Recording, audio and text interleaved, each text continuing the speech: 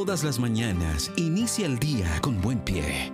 Mente positiva, escuchando a Isa Valen y la matutina sin miedo al fracaso. al fracaso. Todas las mañanas con Isa Valen. Bienvenidos. Esto es Matutinas con Isa Valen. Te invito a que te suscribas a mi canal y le des a la campanita de notificación. También a través de DR Ministries y en Instagram como arroba isabalen7. El tema de hoy es innovación y el título de la matutina de hoy es La foto que conmocionó a todos, parte 1. Job 17:11 nos dice, van pasando los días de mi vida y mis planes y deseos se ven frustrados. Comencemos. Que se convirtió instantáneamente en un símbolo de la guerra de Vietnam. Décadas después, no ha perdido impacto. El rostro de Kim Phuc, de 9 años, nos transmite el dolor que sentía. En ella, la vemos con la boca abierta, en un grito silencioso, avanzando tambaleante por la carretera. Sus brazos que se agitaban a los costados rememoraban mil cuadros renacentistas de la crucifixión. La vemos desnuda, luego de que un avión arrojara napalm sobre su cuerpo, quemándole la ropa. Ella parece correr hacia la cámara, a punto de tropezar. Ocurrió el 8 de junio de 1972. ¡Me quemo, me quemo!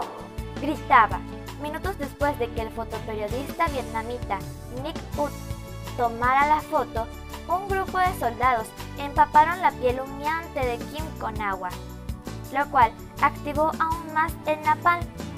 Quemaduras de tercer grado cubrieron un tercio de su cuerpo, su brazo izquierdo, casi toda su espalda, parte del pecho, la parte de atrás de su cuello. Las quemaduras también le afectaron un brazo derecho, el estómago y los glúteos, y un poco las orejas, la mano derecha y la mejilla. Necesitaba atención médica inmediata. Agarró un poncho para cubrir a Kim y la llevó al hospital más cercano. Pidiéndole al conductor que se apresurara, le prometió a Kim. Estaremos en el hospital muy pronto. Por fin llegaron y Nick le suplicó a una enfermera que la ayudara y se disculpó por tener que irse. Al ver las heridas de Kim, los médicos hicieron poco, porque pensaron que no sobreviviría. Nick se fue rápidamente a la sede de Associated Press en Saigón, donde revelaron la fotografía. Las imágenes eran tan impactantes como esperaba. Él y sus colegas sabían que debido a la desnudez de la niña, era poco probable que se publicara la foto, pero la imagen era demasiado poderosa para desecharla.